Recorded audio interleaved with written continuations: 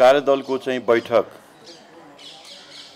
यसभन्दा अगाडि भएका बैठकहरूभन्दा धेरै नै अगाडि बढेर सहमतिको नजिक पुग्ने गरी हामीले छलफल अगाडि बढायौँ।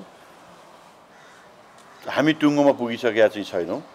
अब यसबाट हामी निस्किसके पछाडि बालुवाटारमा दलका शीर्ष नेताहरूसँग हामी बस्नेछौँ र त्यहाँ चाहिँ यी छलफलमा भएका कुराहरूलाई हामीले शीर्ष नेताहरूको बिचमा राख्छौँ।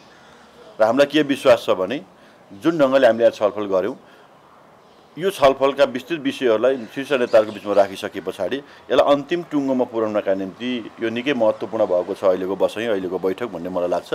त्यस कारणले गर्दाखेरि यसको विषय चाहिँ अब बालुवाटारको बैठकबाटै यो अन्तिम निष्कर्षमा पुग्छ भन्ने हाम्रो एकदमै प्रष्ट भाषामा भन्दाखेरि विगतमा चाहिँ सहकारीबाट रकम लगेर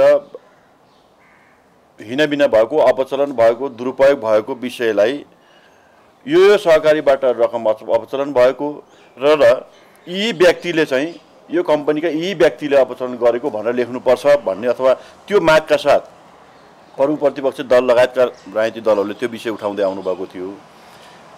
कुनै व्यक्ति वा कुनै कम्पनी भनेर उल्लेख नगरौँ। मुलुकका सङ्कटग्रस्त रहेका सहकारीहरू जुन जुन सहकारीहरू छन् ती सहकारीहरू र खास गरी सार्वजनिक मिडियामा र संसदमा जे विषयहरू उठेका छन् ती सहकारीहरूको त्यहाँ भएको रकम अपचलन वा हिनाबिना के हो? त्यसको छानबिन गर्ने गरी संसदीय छानबिन समिति बनाऊ भनेर सत्तापक्षमा रहेका मानिसहरूले भन्दै आउनुभएको अवस्था थियो। तर आज हामी कहाँसम्म चाहिँ पुगेर सहमति नै जस्तो बनिसकेको अवस्था हो भने जुन जुन सहकारीहरूबाट चाहिँ रकम लगिएको छ वा त्यसबाट अपचलन भएको छ नियम विपरीत त्यहाँबाट रकम गएको छ र जुन जुन कम्पनीहरूले लिएको छ भनिएको छ र सार्वजनिक मिडियामा आएको छ सदनमा पनि ती विषयहरू उठेका छ ती कम्पनीको नाम पनि हामी उल्लेख गर्ने ती संस्थाहरूको पनि सहकारी संस्थाहरूको पनि नाम उल्लेख गरौँ र त्यसैलाई केन्द्रबिन्दुमा राखेर छानबिन गर्ने गरी छानबिन समिति बनाउन सकिन्छ भन्ने ठाउँमा उभिएको पाउँछु मैले आजको बसाइले। तर त्यसमा पनि के विषय रह्यो भने कुनै कम्पनीको पनि निश्चित पदाधिकारीहरू निश्चित व्यक्तिहरूप्रति अलि लक्षित गरेर अलि स्पेसिफिक भएर आउनुपर्छ भनेर परु प्रतिपक्ष दलका मानिसहरूले भन्नुभयो। सत्तापक्षका चाहिँ साथीहरूबाट कार्यदलमा रहनुभएका साथीहरूले के भन्नुभयो भने कम्पनी भनिसकेपछि कम्पनीभित्र कुन पदाधिकारी वा कुन व्यक्ति भनिरहन आवश्यक छैन। यस ढङ्गले जाँदाखेरि उपयुक्त पनि हुँदैन त्यो न्यायपूर्ण पनि देखिँदैन भन्ने हिसाबले चाहिँ नि पनि सत्तापक्षमा रहनुभएका मानिसहरू जो कार्यदलमा हुनुहुन्छ उहाँहरू त्यो ढङ्गले प्रस्तुत हुनुभयो। त्यस कारणले भन्दाखेरि हामी नजिक नजिक हामी पुगिसकेका छौँ। एउटा कुरा कुनै कम्पनीसँग सम्बन्धित रहेर छानबिन गर्ने भनिसके पछाडि त्यो कम्पनीमा को को जिम्मेवार थियो भन्ने कुरो त छानबिनको क्रमपछि थाहा लाग्छ।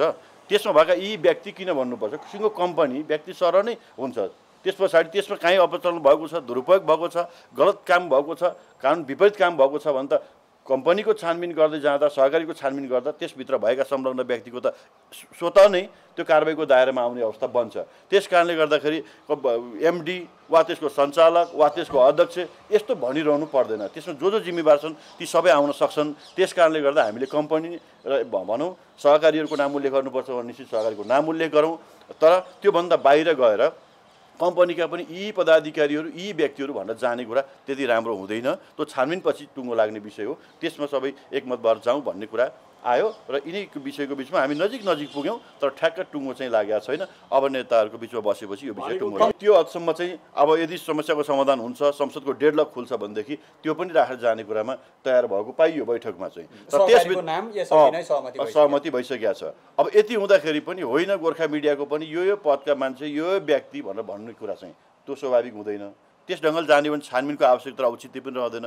त्यस कारणले गर्दाखेरि यही बिचबाट हामीले निकास निकाल्ने गरी अन्तिम बिन्दुमा पुगेका छौँ। मलाई लाग्दछ आज यो विषय टुङ्गियो। प्रतिपक्ष दलको कुरा पनि मिल्ने गरी नै सहमतिमै जाने गरी नै उहाँहरू पनि प्रस्तुत हुनुभएको छ। तर त्यति हुँदा हुँदै पनि उहाँहरूले उठाउनु भएको केही कम्पनीहरूका नाम उल्लेख गर्ने सहकारीका नाम उल्लेख गर्ने र त्यसमा छानबिन गर्ने गरी संसदीय छानबिन समिति बनाउने कुरामा सत्तापक्षका मानिसहरू पनि सकारात्मक भएर आउनुभयो। त यहाँसम्म त पुगि नै सक्यो। अब त्यसभित्र पनि जुन कम्पनीहरूमा जो जो जुन जुन पदमा व्यक्तिहरू छन् ती ती पद पनि उल्लेख गरेर खुलाउनुपर्छ भन्ने हिसाबले स्पेसिफिक भएर व्यक्तिप्रति नै अलिकति केन्द्रित हुने गरी छानबिन पनि स्पेसिफिक बन्ने गरी नै आउनुपर्छ भन्ने कुरा उहाँले अहिले पनि दोहोऱ्याइरहनु भएको छ। त्यो त्यति व्यवहारिक पनि हुँदैन उपयुक्त हुँदैन भनेर सत्तापक्षकाबाट प्रतिनिधित्व गर्नुहुने कार्यदलमा प्रतिनिधित्व गर्नुहुने साथीहरू त्यो भनिरहनु भएको अवस्था छ। यही बिचबाट हामी निकास निकाल्छौँ। संसदभित्रको डेढ लाख फुकाउने कुरामा हामी यसमा चाहिँ सहमत छौँ होइन? भनेर आजको दिनसम्म अहिलेको बैठकसम्म आइपुग्दाखेरि उहाँहरू पनि सहमत बन्नुभएको छ।